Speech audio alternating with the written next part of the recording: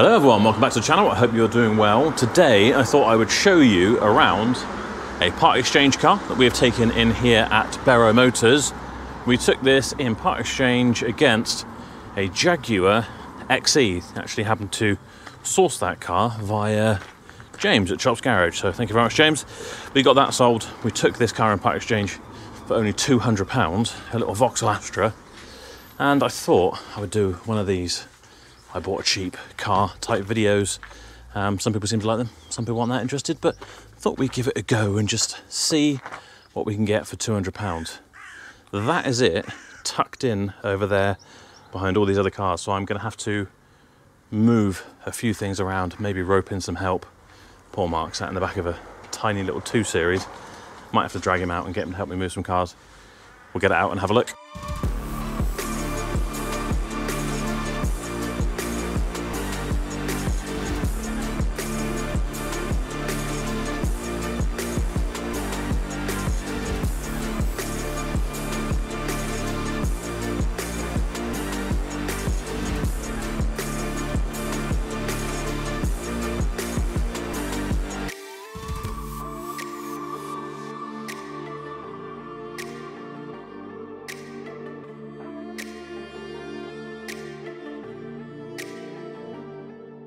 Right, so there you have it. You should have seen some very cool and classy and kind of exciting cinematic shots of this car now, thanks to Toby and his amazing editing skills.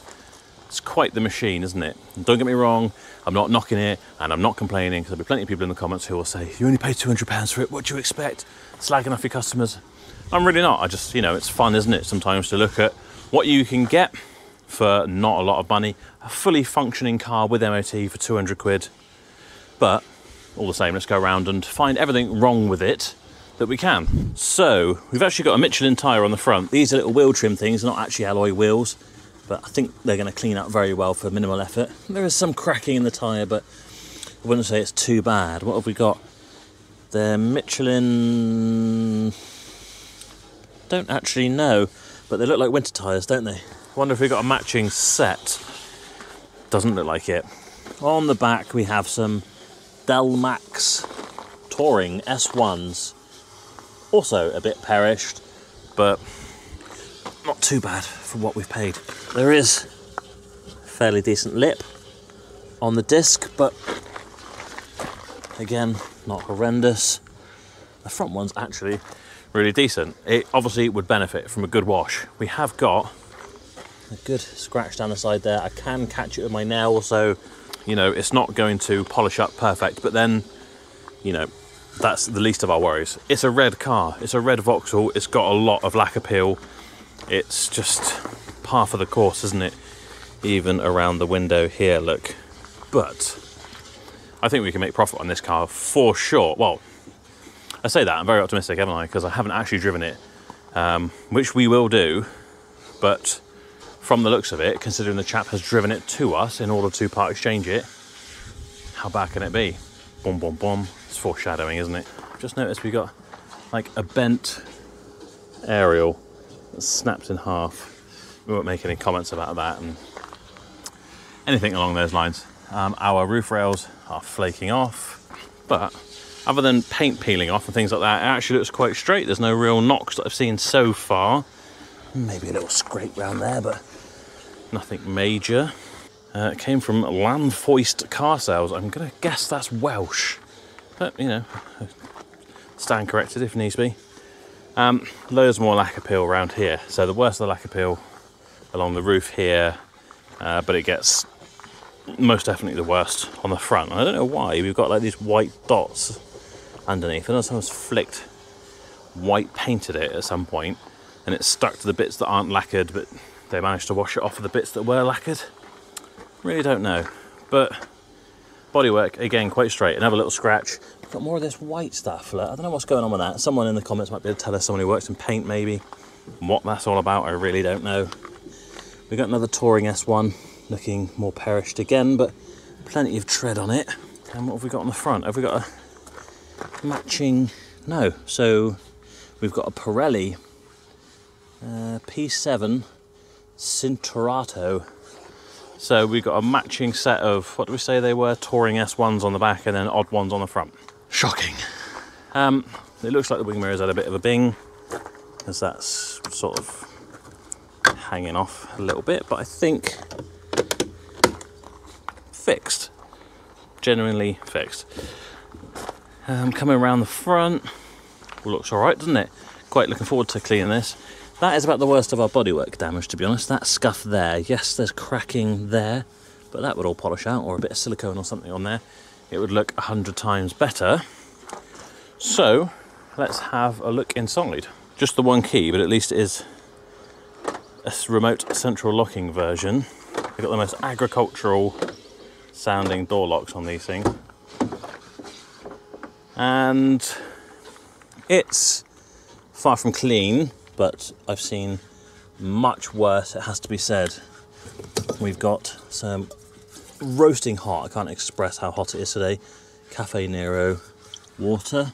Oh, just spotted 5p, so it now owes us £199 95 pence. With any luck, we might find a few more coins.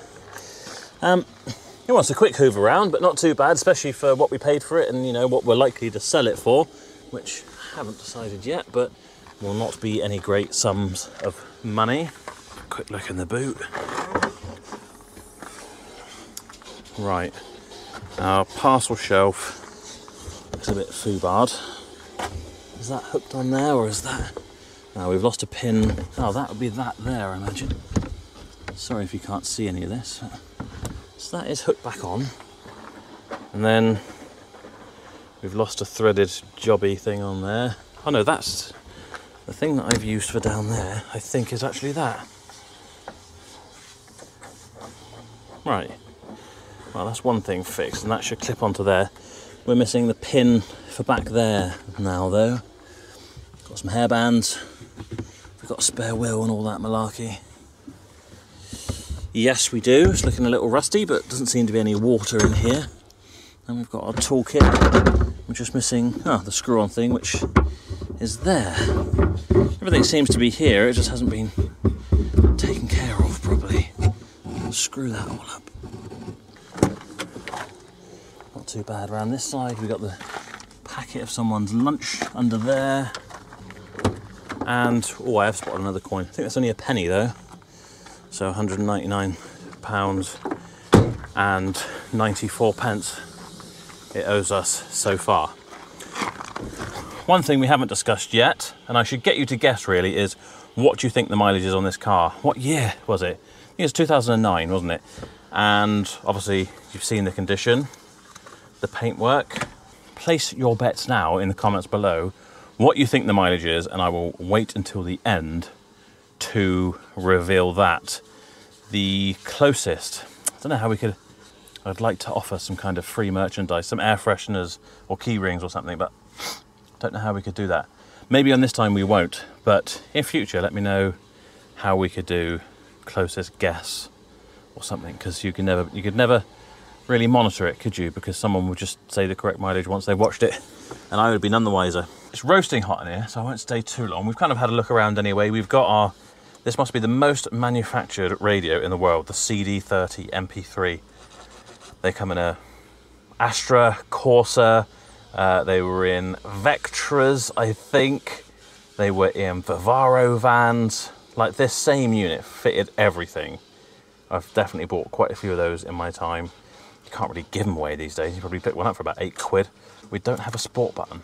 Sometimes with these, you can take that button out and there's the cables behind to which a button would have fitted to give you a sport mode, which might give you kind of sharper throttle response and you can fit a button or just wire them together so you're in constant sport mode but I really can't be bothered to find out. Um, one thing I was hoping we might find in that glove box when I opened it then was any kind of paperwork. I think we've got someone's passport photo back here, which I won't show. It's, it's not the person, I mean there is a passport photo here, but I won't show it to you. I'll hold it this way, then I can see it. This isn't the person who bought the car, so Either that's been in there a long time or maybe it's his son or something. So there is no paperwork. So we do not have any service history whatsoever. We do have the V5, which tells us it had five owners. But other than that, we don't have any more history on this car whatsoever. So I think we pop the bonnet, have a look under there, see what the oil looks like, see whether it's been recently serviced or not. And then we'll do a quick vehicle score and take it for a drive, find out if the air conditioning works, which I doubt. So the next thing we can hope for is the windows work at least, because I am sweating like a pig. Right, here we are. Have we got a black box? Is that a black box or is that a tracker? I really couldn't tell you. Meta system T342. It could be a tracker. I mean, honestly, who's putting a tracker on this? It has got a QR code on it, so should we scan that on my phone? No, that's not it. So let's Google it. Meta 342. Meta System T342 real time tracking device. Now, I can't imagine someone was tracking this because they were so concerned it was going to get nicked, unless they had some kind of crazy ex partner or something. But we will rip that off anyway because we do not need anyone tracking this car for whatever reason. Why you would want to, I don't know. In fact, that can go straight over there in the scrap. Maybe, maybe they were just like me and very forgetful and they can never remember where they parked their car and it was just handy to be able to track it that way. Who knows? But uh, yeah, maybe he had a crazy girlfriend who used to track him or something. That's odd. Maybe he didn't know it was there. Anyway, before we get into any kind of allegations of anything, let's have a look at the engine. So it's uh, definitely got some kind of oil leak going on, or they've just had very bad aim when they are refilling the oil because it's looking pretty gunky and horrible. Mm, the oil looks like it's got some colour in it. Let's have a look at the dipstick. That it's not too bad actually. You can still see through it somewhat. Um, do you know what would be interesting is the vehicle score will also be able to tell me what this is. I got a feeling it's a 1.6 petrol off the top of my head, but I could be wrong. That looks like it's less than 100% secured. The state of this auxiliary belt has got like some kind of weird condition. Yeah, we've got Halfords battery, which is actually secured, so that's good news.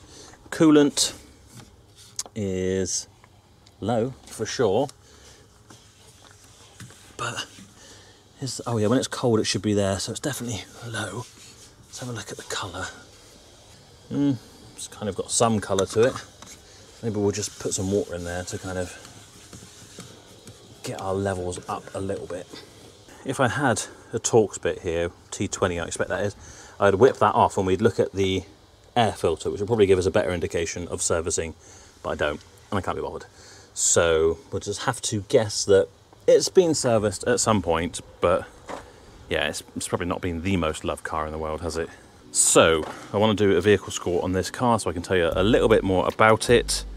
So our registration is Foxtrot November 09 Romeo November Zulu. I'm to hop in the car we'll see what it tells us.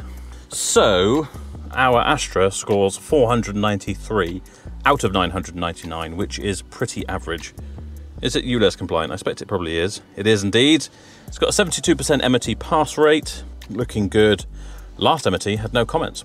Recent MOT pass rate is high, average yearly mileage is good, bad bits over 10 comments on recent MOTs, over two failed comments on recent MOTs, vehicles over 10 years old, vehicle mileage is above 100,000. Almost gave the game away there, didn't I? It is above 100,000. Um, but I'm not going to tell you how much more above. So let's have a look at vehicle details and performance. So it's a 1.4 petrol. The mileage is on there, so that's going to give that away, isn't it? I'm going to get Toby to blur some of this out. Our mileage tracker is looking good, so you can imagine that's always going up like that. I'll get Toby to blur the mileages out on the left. We can tap to reveal our performance figures.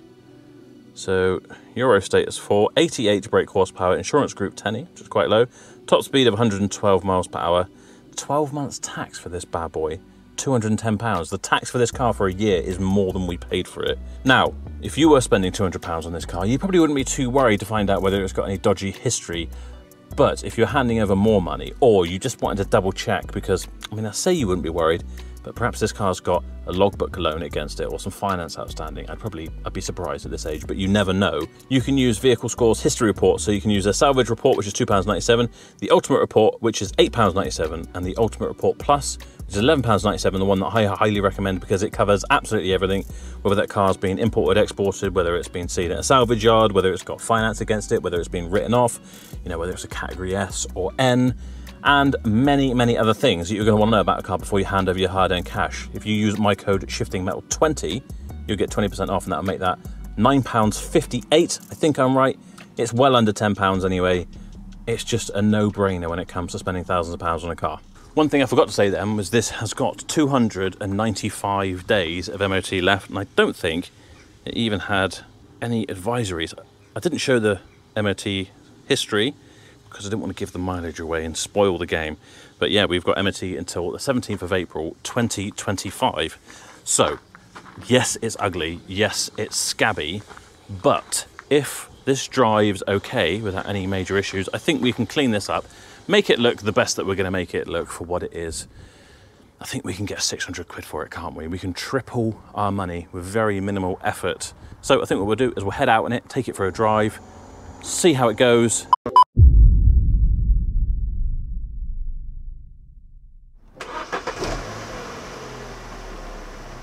Right, fires up okay. Let's check out our air conditioning. Mm, it felt cold, then it's just got hot. I'd be eternally grateful if it did blow cold. It's what's it saying the outside temperature is? How do we do that on these controls? I have no idea if it's even changeable. Amazingly, we've got just under half a tank of fuel, which gives us 245 miles of range our average consumption is 43.5 miles per gallon. It's pretty decent. It doesn't look like we have an outside temperature thing though. Unless that's what it's telling me at the top there, 39.7, I could believe it. I mean, not quite that hot, but it is hot. And the aircon is definitely not working. So immediately I can tell you we've got electric front windows, but not rear, which is a shame. I would have gone with the old 460 air conditioning can't remember who used to say that. I think that was Dominic Littlewood. All four windows down and up to 60 miles an hour. so far, it seems to drive as well as you would expect a 1.4 Astra from 2009 to drive. Gearboxes are, I think, usually the weak spot on these. First, second, and third, I think, are usually the ones um, normally, when you let off, you got a bit of overrun. They were like whine, whoa, whoa, whoa. Corsas, Astras, I assume Vectras were all the same. Of course, I started out selling a lot of Corsa Ds, and they always seem to used to have it. It's funny how cars of certain generations like this, what is this, an Astra H, I think, I won't have driven for quite a while, really. We're privileged enough to have moved into more modern cars, I guess, you get back in them, it actually surprise you at how well they drove. In your mind, you think of older cars and you know they drive like tractors in comparison to modern cars, but actually it's really comfortable. Say it hasn't been looked after, but you know there's no suspension knocks. I would expect there be, to be some kind of ball joint knocks, things like that, but no. It tracks true. The brakes are pretty good. I think it broke in a fairly straight line then. We'll have to try it again. Difficult being the lanes around here. We've got a lot of camber in, so yeah, in a straight line. The fact that the remote central locking actually works surprised me. I would have thought that at the very least the battery in the key would be dead, and at worst the central locking receiver or something would be broken. I feel like that's a fairly common thing with Astras of this age. I could be wrong, but I bet if this had decent paintwork on it, you could sell this for 1500 quid maybe in today's market quite easily. But I don't think we'll be asking that much. I think, well, I always say a figure that I think, and I hand it over to Sophie, who normally asks and gets more for them. So I guess I'm not that clued up on the lower end of the market in my mind. I just want rid of them, and if we make a profit, that's great. Whereas for Sophie and you know other people who trade at that sort of value, they see more value in them. I see the potential problems in them, so I try to just avoid them. Does our radio actually work? Yeah, because there's a lot of suggestions here, and I feel Yes, like it does, as well as a CD30 MP3 ever worked. Of course, I forgot with this being a 1.4, it is going to be the flattest engine in the world. For some reason, you're better off with. I don't know what it is with Vauxhall, but it's almost as the engine size goes down in these small hatchbacks, the better they are. The one litre, very good, very nippy. The 1.2, pretty good, a pretty good all rounder, but the 1.4, really sluggish. And I think the 1.6 isn't that great either. But certainly, the 1.4 is very much a low light of their range of engines. It's just practically dead to the world. I've probably said this in other videos before. First gear now at 10 miles an hour.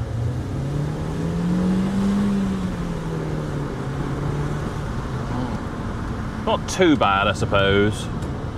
It does technically rev up okay, and we were up to 30 miles an hour quite quickly. I was still at 30 miles an hour, to be fair. But perhaps it's just the absolute lack of torque. You cannot feel any motion happening whatsoever. It's technically, it's technically it's happening, but you just, you just won't be feeling it. I have to admit, this has surprised me at how well it's driving. You look at something like this and see the state of it and the state of the paintwork. It's not clean, and you just think you wouldn't want to give any more than scrap money because it probably is an absolute bag of crap.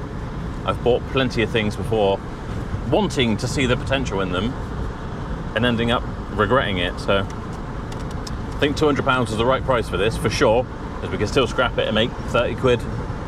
But actually, it does drive really well.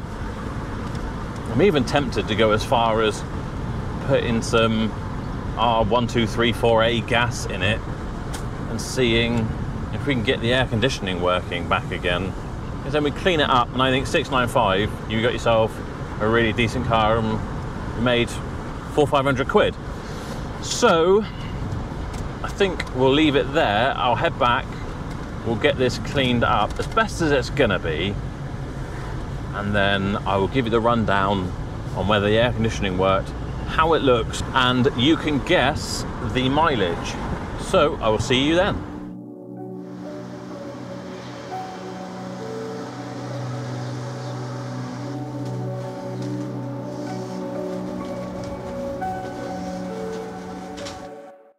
Right, so here it is, all cleaned up now, uh, hoovered out inside. It's not drastically better, but it's good enough for a trade sale.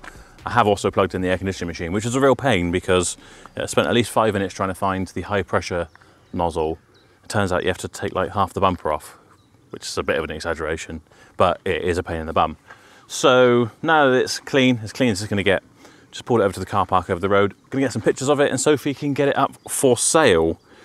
So, just some very basic angles. This is literally how quickly I take pictures for trade cars. I just don't even stop. Time is money and all that stuff. Make sure we get the paint crappiness in there. The Schmeggums crotch stains on the seats as well.